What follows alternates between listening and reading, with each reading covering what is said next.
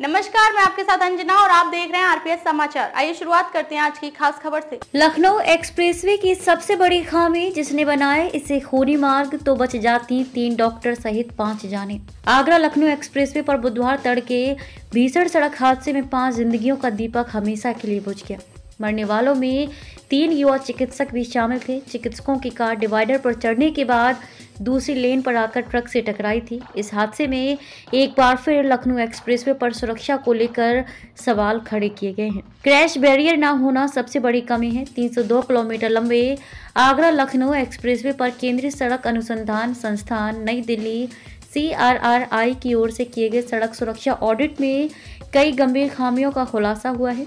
सी ने एक्सप्रेसवे की सुरक्षा बढ़ाने के लिए कई सिफारिशें की थी, जिन्हें लागू करने में देरी की गई। वर्ष 2023 के अंत में लगभग 100 करोड़ की लागत से कुछ सिफारिशों को लागू किया गया, लेकिन सवाल उठता है कि इन सिफारिशों को लागू करने में देरी क्यों हुई और इस दौरान हुई दुर्घटनाओं और जनहानि के लिए कौन जिम्मेदार है? सी की प्रमुख सिफारिशें और उनकी अनदेखी। सी की ओर से नवंबर 2018 से दिसंबर 2019 के मध्य लखनऊ एक्सप्रेसवे का सड़क सुरक्षा ऑडिट किया गया। नवंबर 2017 से फरवरी 2019 16 माह के बीच उपलब्ध सड़क डेटा के अनुसार एक्सप्रेसवे पर 1517 लोग घायल हुए 406 लोग गंभीर रूप से घायल हुए और 118 लोगों की मौत हो गई। इसे देखते हुए यूपीडा ने सी से रोड सेफ्टी ऑडिट कराया। सी ने अपनी रिपोर्ट यूपीडा को सौंपी।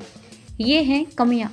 सी ने सुझाव दिया था कि एक्सप्रेसवे के केंद्रीय रिज पर क्रैश बैरियर लगाए जाएँ ताकि वाहनों के विपरीत दिशा में जाने से रोका जा सके।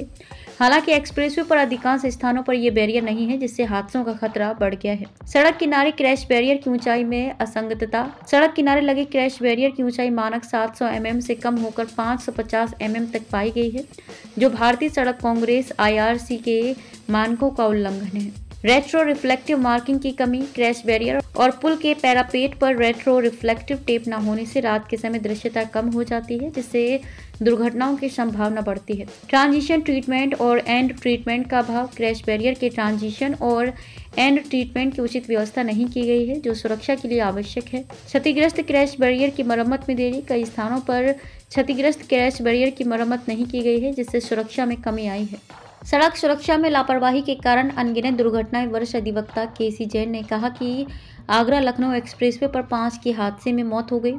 उनकी गाड़ी केंद्रीय रिज को पार कर विपरीत दिशा में चली गई। यदि वहाँ क्रैश बैरियर होते तो ये दुर्घटना टाली जा सकती थी। उत्तर प्रदेश एक्सप्रेसवे औद्योगिक विकास प्राधिकरण यूपीडा को इन मुद्दों पर तुरंत ध्यान देना चाहिए। सड़क सुरक्षा में लापरवाही के कारण अनगिनत दुर्घटनाएँ हुई हैं। यमुना एक्सप्रेसवे पर क्रैश बैरियर लगने के बावजूद आगरा लखनऊ एक्सप्रेसवे पर इन्हें न लगाना बेहद दुर्भाग्यपूर्ण है।